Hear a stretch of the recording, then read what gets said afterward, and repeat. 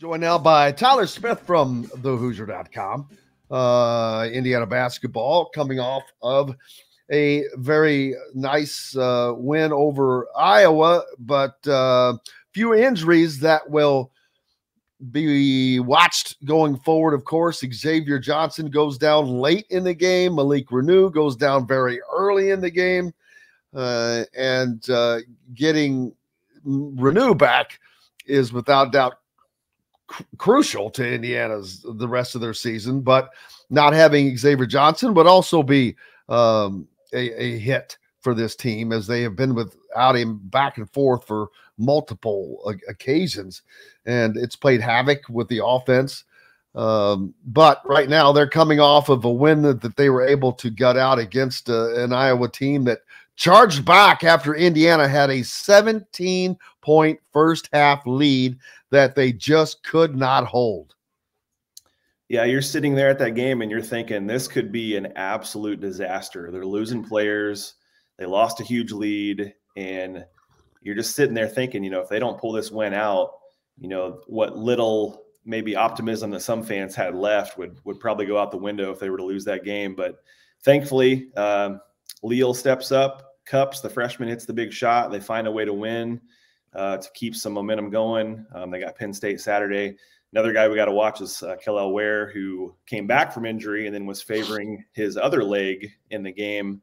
Um, he was really struggling and, and, really, really gutsy effort from him and the rest of the guys. So, uh, quick little turnaround here before the next game, as it often is. So, definitely something to watch. The the depth, the lack of depth of this team will surely be tested coming up here.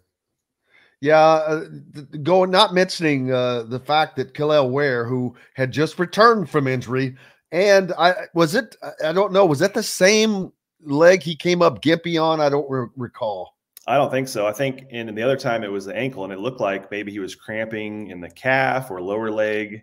Um, I do. There were. Then that's a good sign. If it's cramping, that's just uh, yeah, muscle fatigue and and uh, get some fluids in there, yep. uh, something like that. But he played a hell of a game for, and w- w- in a game that he couldn't come out. He had to be the guy. He had to stay in there and and keep on banging it.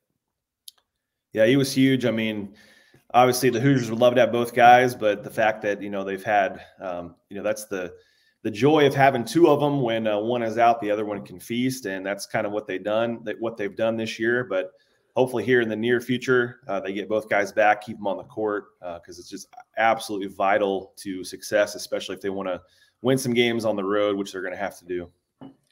Yeah, Mike Woodson said that uh, we needed him back in the worst way after the win over, and he was exactly right because there's just something. I mean, Malik Reneau is is great in the paint. Don't get me wrong; he has great footwork and he's a good scorer, but he's not the defender that Kel'el Ware is. He's not the rim protector that Kel'el Ware is. I mean, when when Kel'el Ware is in there, it's uh, he he changes.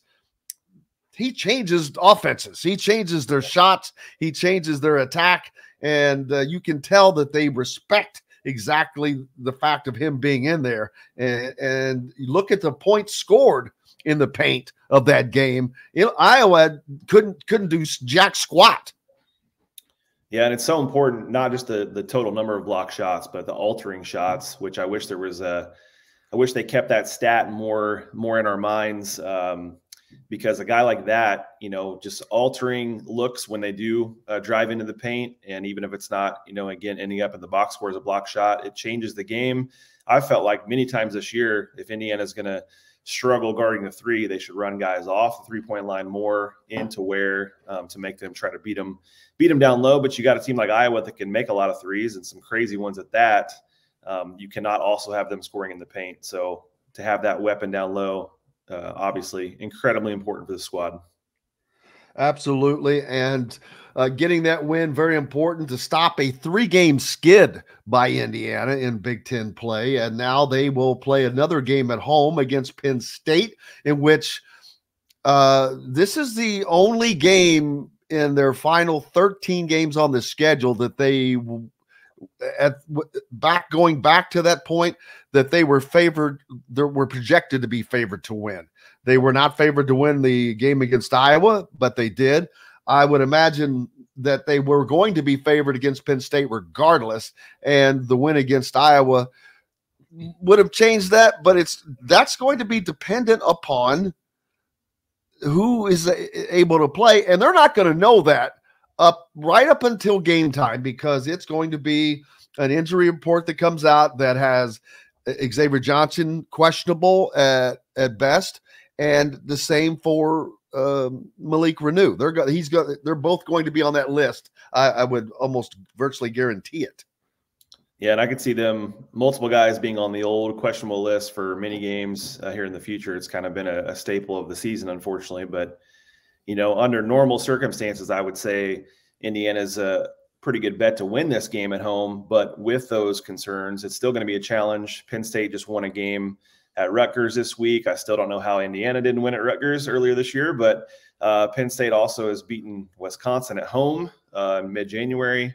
They are just one and four in true road games, so I think you know Indiana's got that advantage, even though they just won uh, at Rutgers. But um, it's a game Indiana needs to get, just like they they survived the Iowa game. This is one that if you feel like if they can just survive it, find a way, injuries or not, to come out on the on top, then um, you start to get you start to see at least a little bit of a path of of some intrigue the rest of the season if they can survive this one. Well, they don't have to. They they had they can they have to do more than survive. They have to win this game. There, there's no question. Not because I'm talking of potential NCAA tournament. They're not going to the NCAA tournament. I, I mean, I don't want to be na- negative Nancy or whatever, but I, I'm not going to sit there and pretend this team has a shot to go to the NCAA tournament when they don't. That's not going to happen. That ship sailed.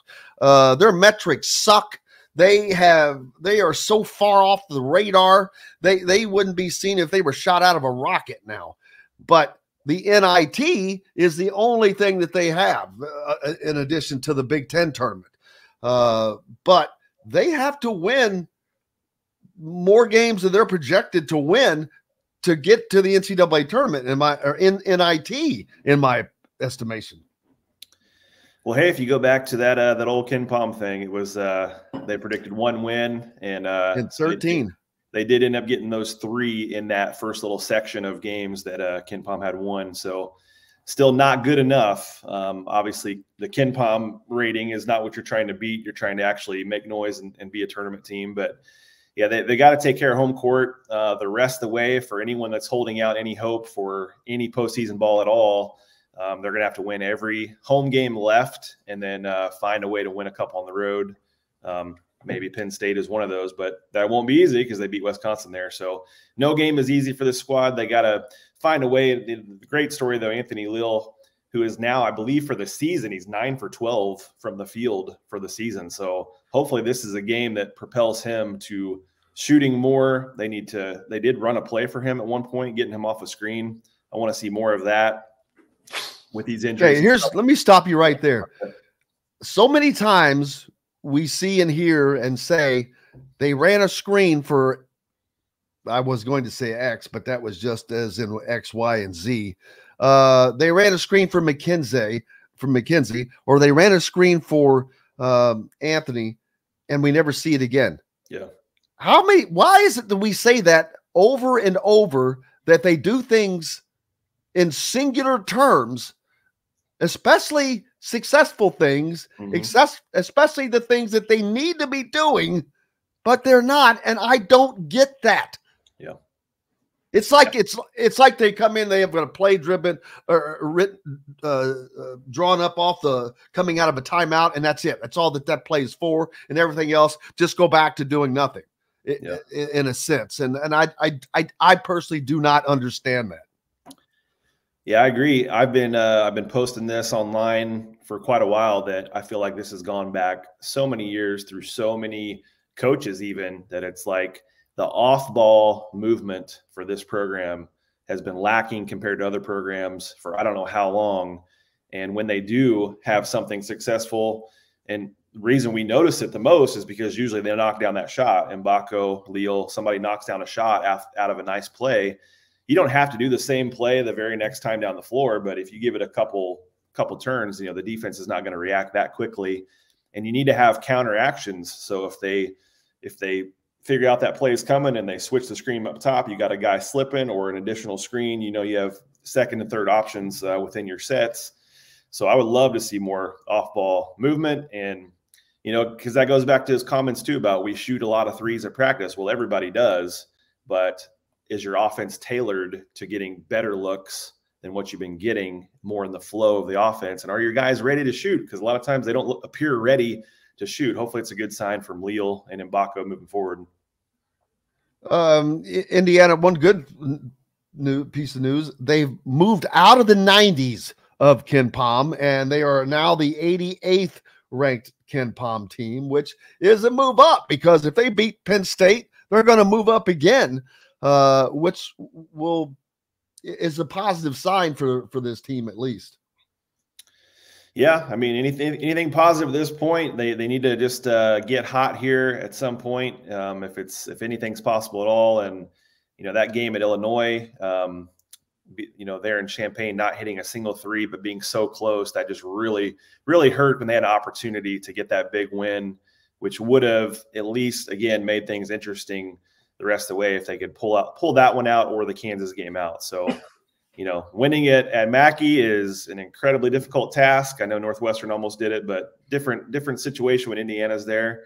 So you're running out of options for the big wins, uh, especially any games on the road. Uh, but what is it that that this team has to do to get to that point? I mean, besides having everybody healthy, which that goes without saying, uh, and I'm not talking about the Penn State game, but a- after that, Penn State they should win the Penn State game. Not that Penn State is the only team to beat Wisconsin, FYI, mm-hmm. uh, the league leading team, people, but. Uh, this is a game that Indiana should win. It's not that they're going to win it by 20, but it should it should not be as tough as the Iowa game. Iowa had some shooters, man. Um, and if Iowa had a post presence, that game would have been, whoo, that would have been scary for Indiana. Yeah. Well, I think you know fans don't want to talk about moral victories or anything. Oh, we played well. Like they don't want to hear it at this point.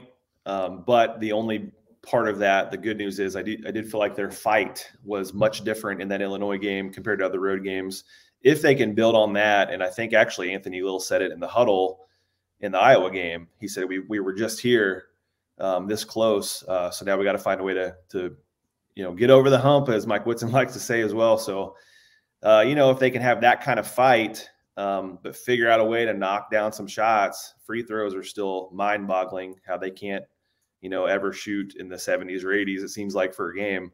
Um, but I, I, think they're they're close. Um, they gotta gotta find a way to win one of those uh, to get some confidence because uh, obviously time is running out now that we're in February.